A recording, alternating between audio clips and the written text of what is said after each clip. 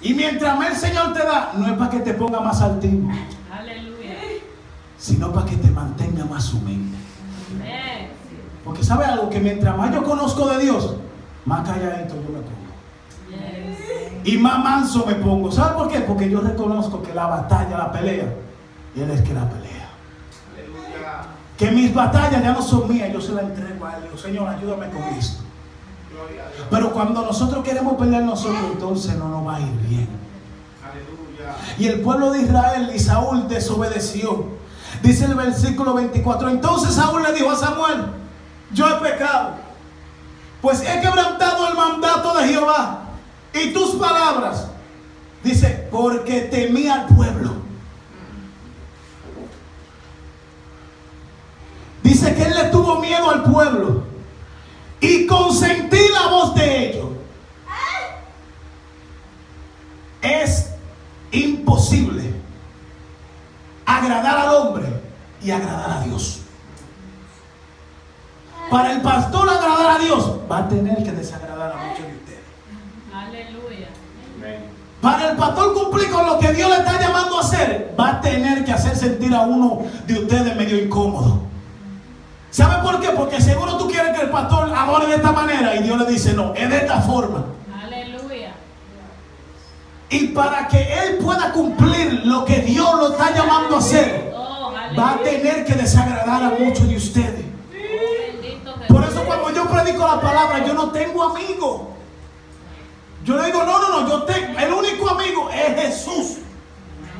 Y lo que Él me diga, yo te voy a decir por qué. Porque si verdaderamente yo soy tu amigo y tú me consideras tu amigo, yo te voy a decir las cosas, aunque te duelan. Pero te la estoy diciendo para que te de pie y que sigas caminando.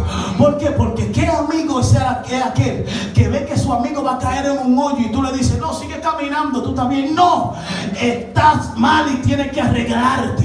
Tenemos que comenzar a decir la verdad. Tenemos que decirle a los amigos, a las personas, a nuestros familiares, tú estás mal, tienes que arreglarte. Por ese camino que va, dice la palabra, que como un ciego va a caminar otro ciego, van a caer los dos. Pero cuando obedecemos a Dios, aquel refrán que dicen por ahí de que si camina como un cojo vas a cogerlo al poco tiempo, no, no. Si un cojo camina conmigo, o camina, o se le va a coger, o se queda atrás. Si un ciego camina conmigo, o se pone a ver, porque es que yo no le voy a decir tú estás bien si está mal. O ve, se va a ir por el lugar donde quiere caminar. ¿Por qué?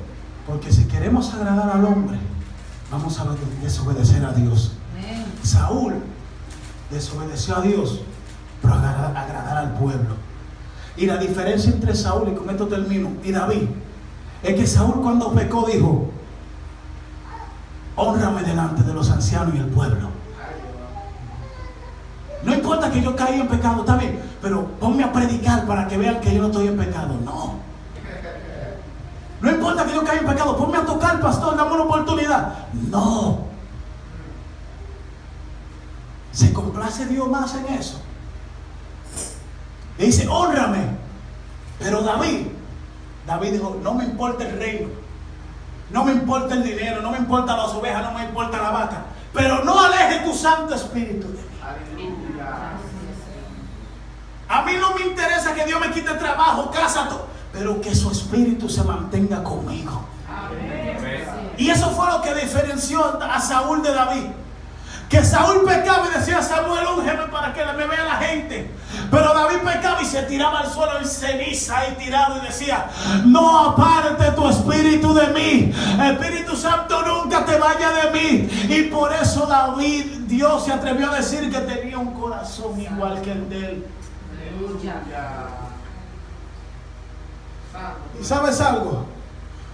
Muchos dicen que Noé se salvó porque hizo el arca. Pero si hubieran habido otro bote también y tuvieran en desobediencia, se hunden también. ¿Sabe que lo único que mantuvo a la familia de, de Noé en el arca vivo fue su obediencia a Dios? Que si otros se hubieran puesto a formar otra barca, se vieran hundidos. ¿Qué Aleluya. le pasó a Jonás que dijo, voy a escapar de la presencia de Dios? Y, mien- y cuando se encontraba en el medio, se levantó una tormenta. Y se iba a hundir el, bote donde él iba, la barca. Y le dijeron, ¿por qué no ha venido este mal? Y qué pena que después de ser usado por Dios, vengan a decir, yo soy el profeta de Dios y por mí ha venido este mal. No. Por eso cuando Noé escuchó la voz de Dios, obedeció. No hubiera caído una gota de lluvia por tanto. Él dijo, no, no, no, no importa. Me habló el Espíritu Santo. Tengo que formarla.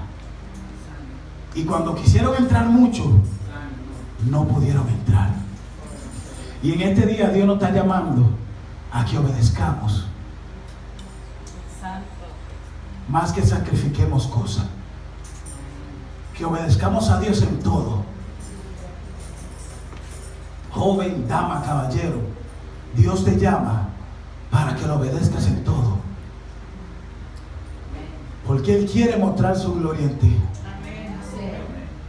Dios se complace más en que tú le obedezcas a que tú le sacrifiques cosas. Y en esta noche, si Dios ha hablado a tu vida, yo voy a orar por ti de aquí adelante.